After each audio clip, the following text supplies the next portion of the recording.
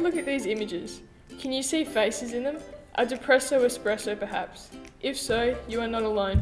Faces seem to pop up everywhere. This intriguing phenomenon is known as pareidolia, our tendency to spontaneously perceive meaningful patterns, particularly faces, in random stimuli like inanimate objects.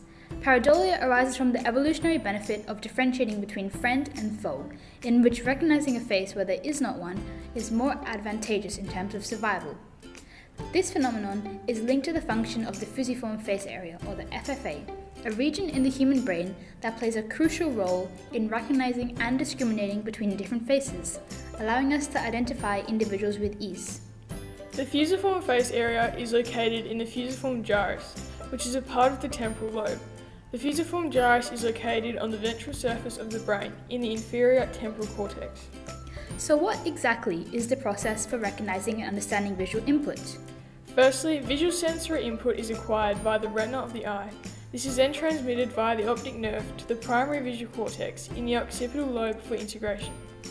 Within the primary visual cortex, there is a specialized region called the occipital face area. This is involved in early face processing and helps detect and extract facial features like your nose. From the OFA, the visual information is then transmitted to the fusiform face area, which constructs a facial identity by configuring features from occipital interpretation. The layout of features is important because the FFA only responds to faces in the normal arrangement and with the correct orientation.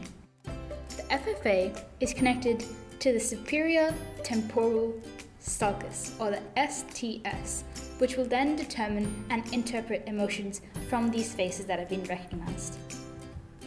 There is substantial evidence to support the proposed role of the FFA in facial recognition.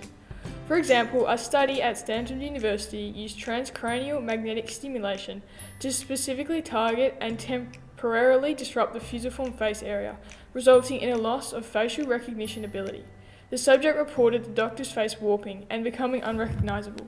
This study provided direct evidence of the FFA's crucial role in face perception, highlighting its significance in this complex cognitive process. Affecting around 1 to 2.5% of the global population is a condition known as prosopagnosia, or face blindness. This condition causes affected individuals to experience difficulty in recognizing and distinguishing between faces, where faces are not interpreted or processed any differently from any other objects. It might be hereditary and run in families, or other causes could be a result of brain damage, such as a stroke, encephalitis, or traumatic concussion.